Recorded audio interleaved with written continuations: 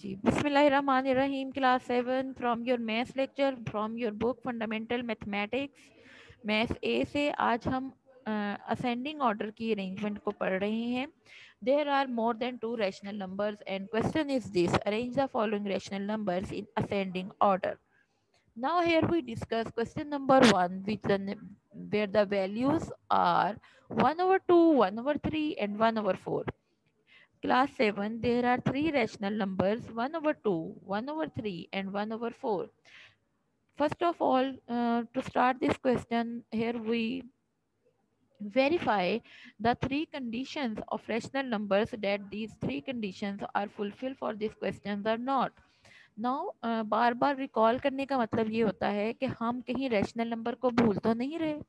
इसलिए rational numbers की तो तीन कंडीशंस को यहाँ फुलफिल करें। Number one rational numbers are always in the form of P over Q तो यहाँ पर देखो one over two three one over three और वन ओवर फोर तीनों रैशनल नंबर जो हैं in the form of P over Q हैं। P किसको रिप्रेजेंट कर रहा है? न्यूमिनेटर को और क्यू किसको रिप्रेजेंट कर रहा है? डिनोमिनेटर को। सेकंड कंडीशन है P and Q both are integers तो integers are positive and negative both and in this questions all integers are positive P के भी सब पॉजिटिव हैं और क्यू के भी सब पॉजिटिव हैं. दो कंडीशन फुलफिल हो गई. थर्ड कंडीशन इज़ कि Q is not equal to zero तो जैसे मैंने आपको पहले बताया Q is denoted by the denominator values तो यहाँ पर डिनोमिनेटर वैल्यूज़ में हमारे पास टू है थ्री है और फोर है। इसका मतलब क्यू ज़ीरो तो नहीं।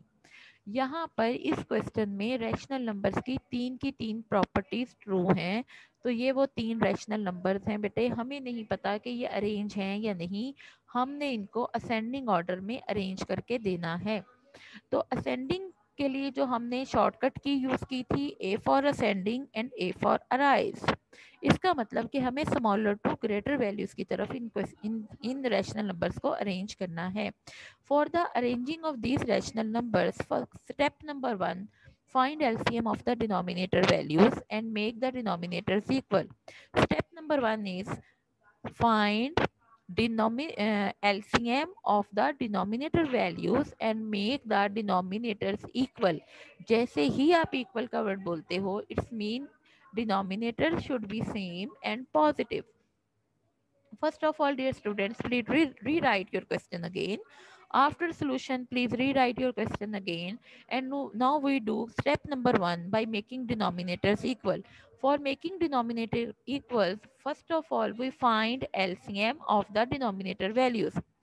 ठीक है लिखते कैसे हैं by making denominators equal and for making the denominators equal step number one is find LCM of the denominator find LCM of the denominator values find LCM of the denominator values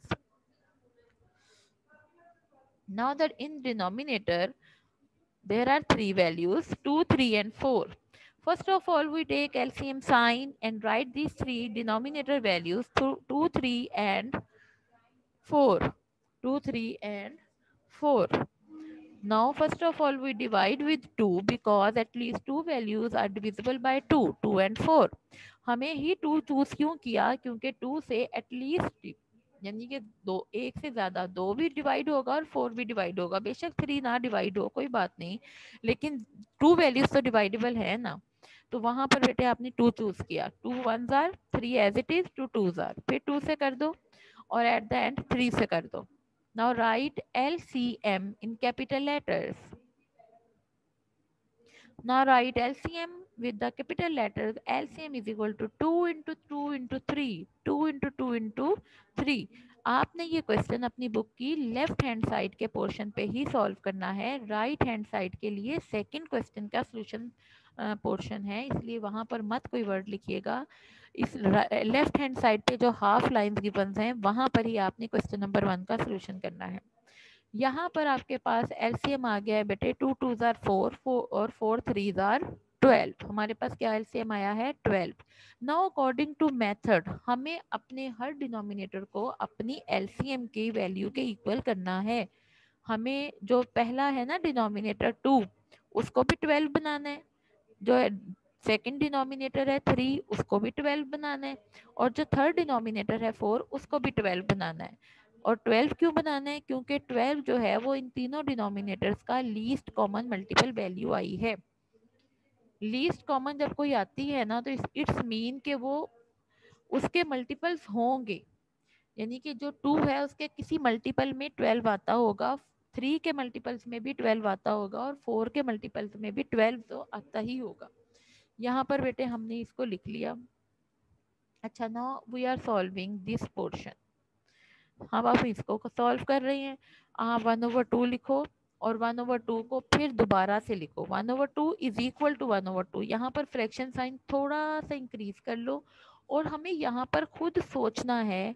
ये बात हम खुद से सोच रहे हैं। ये बात हमने खुद समझनी है कि हम टू को टू को न्यूमिनेटर्स की बात अभी नहीं हो रही। डिनोमिनेटर्स इक्वल हो रहे हैं। तो हमने टू को किससे मल्टीप्लाई करें कि हमारा आंसर ट्वेल्व आ जाए। हमने टू का टेबल पढ़ना शुरू करना है। तो टू सिक्स आर ट्वेल्व। आ गया। अब हमने खुद से सोचा है ना कि हम सिक्स से मल्टीप्लाई करेंगे, अगर टू को तो हमारा आंसर ट्वेल्व आ जाएगा। और ट्वेल्व भी क्यों चाहिए? क्योंकि ट्वेल्व हमारी एलसीएम का आंसर है। अब जो सिक्स नंबर आपने सोच लिया बेटा, जिससे डिनोमिनेटर को मल्टीप्लाई करते हैं, उसी से न्यूमिनेटर वैल्यू को भी मल्टीप्लाई करते हैं।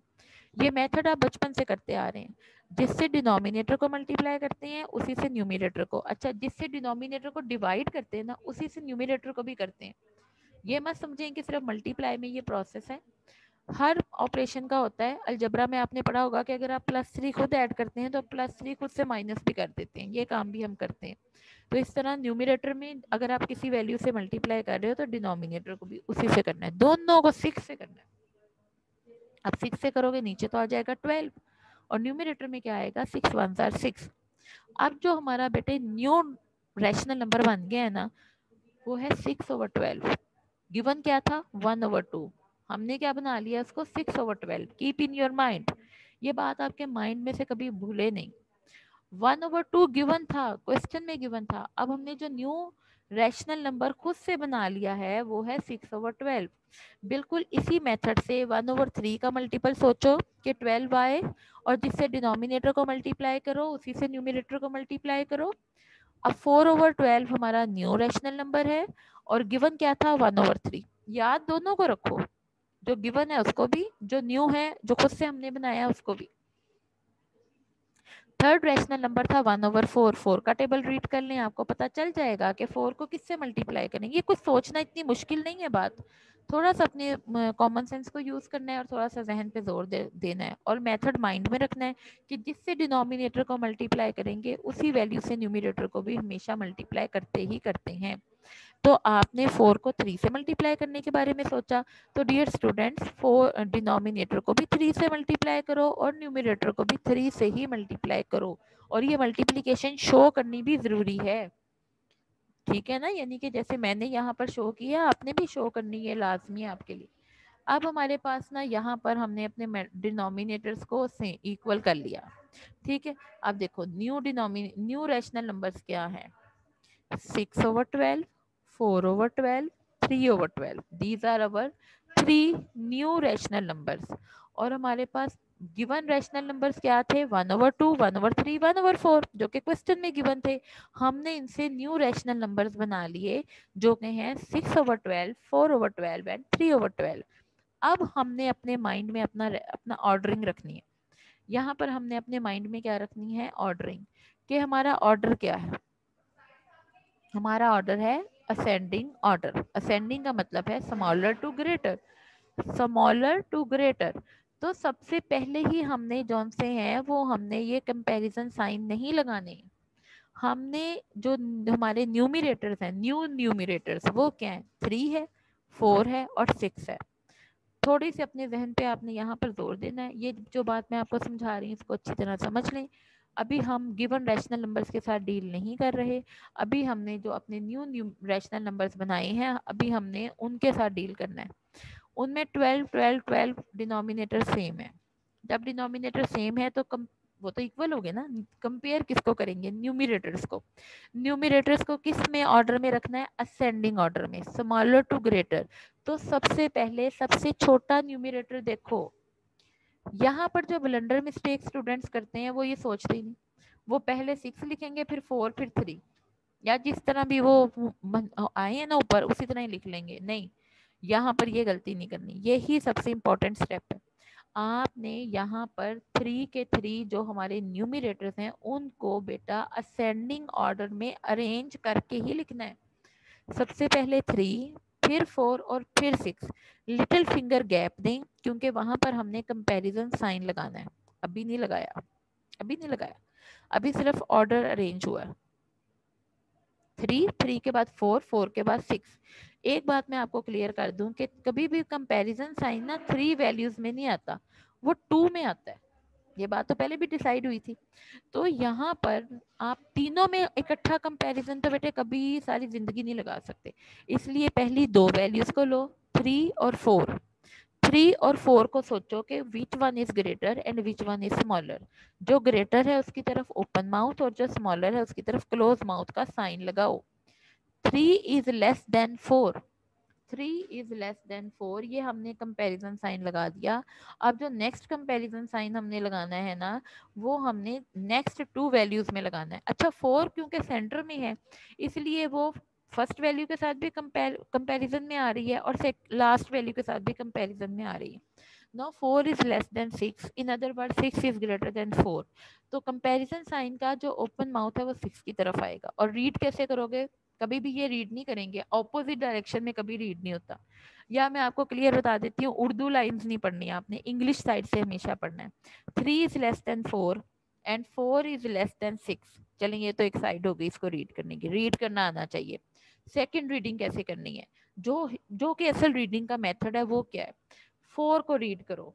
Four is greater than three and four is smaller than six ये बात मेरे साथ अगर आपको जहमत ना लगे तो थोड़ा बोल लें।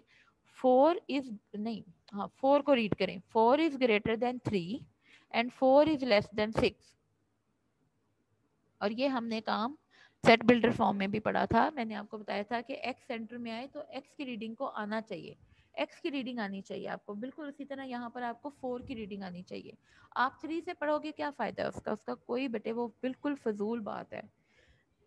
हमेशा सेंटर वैल्यू की रीडिंग पढ़ते हैं. अच्छा जी। Now there is a first comparison first comparison is complete comparison only new numerators values now compare the numerators with same denominators some second comparison is numerators with same denominators denominator same कब हुए थे जब तीनों के तीनों twelve आए थे हम कैसे लिखेंगे अब हमने अपना कंपैरिजन साइन तो चेंज नहीं करना सोच के लगा लिया वही एंड तक आना है three over twelve four over twelve six over twelve this is the second comparison with the same denominators first क्या था? Only new numerators values and second is numerators with same denominators अब जो last comparison है ना बेटे, वही, वो तो हमारे रियल क्वेश्चन वैल्यूज़ का है, जैसे कि हमें क्वेश्चन में जो वैल्यूज़ गिवन थी, असल कंपैरिजन तो उनका ही करके देना था ना, उसके लिए हमें अपने जो मेकिंग डिनोमिनेटर्स इक्वल वाला स्टेप है, वहाँ उसकी मदद लेनी पड़ेगी। कैसे लेनी पड़ेगी? सबसे पहले क्या है? थ्री ओवर ट्वेल्व तो आपके पास थ्री ओवर ट्वेल्व जो है, वो लास्ट रैशनल नंबर है। उसकी रियल क्वेश्चन वैल्यू देखो, वो क्या थी? वो है वन ओवर फोर वो है वन ओवर फोर उसके नीचे लिखो वन ओवर फोर सेकेंड देखो फोर ओवर ट्वेल्व कहाँ लिखा है? सेकंड पे. फोर ओवर ट्वेल्व हमारा न्यू रेशनल नंबर था। रियल क्वेश्चन वैल्यू क्या है इसकी? वन ओवर थ्री तो वन ओवर थ्री को फोर ओवर ट्वेल्व के नीचे लिखो। और थर्ड हमारे पास क्या है? सिक्स ओवर ट्वेल्व वो सबसे पहला वाला था। उसका रियल क्वेश्चन वैल्यू क्या है? वन ओवर टू और वन ओवर टू को लिखो उसके नीचे। ऑर्डरिंग तो हमने कर ली। लेकिन क्वेश्चन किस फॉर्म में था? वो था बेटा in the form of comma अब हम क्या लिखेंगे? Thus T H U S thus comma by arranging in ascending order ये वो आंसर है जो हमने अपने टीचर को देना है कि जी ये देखें जो आपने मुझे क्वेश्चन दिया था, अब मैं उसको असेंडिंग ऑर्डर में अरेंज करने लगा कुछ भी नहीं करना कंपैरिजन साइन को रिमूव करें, उसकी जगह पे कॉमा प्लेस कर दें। One over four as it is comma one over three और कॉमा वन ओवर टू उनको अरेंज कर दें। This is our ascending order ये असेंडिंग ऑर्डर अरेंज हो गया। असेंडिंग ऑर्डर के ना आपकी बुक में दो क्वेश्चन है। और थर्ड क्वेश्चन जो है वो आपका उसमें है वर्कशीट में है। जी, तीन ही है बस question so easy keep it up कोशिश जारी रखें। अच्छी प्रैक्टिस करें। इनशाला I hope that you will understand this question thank you so much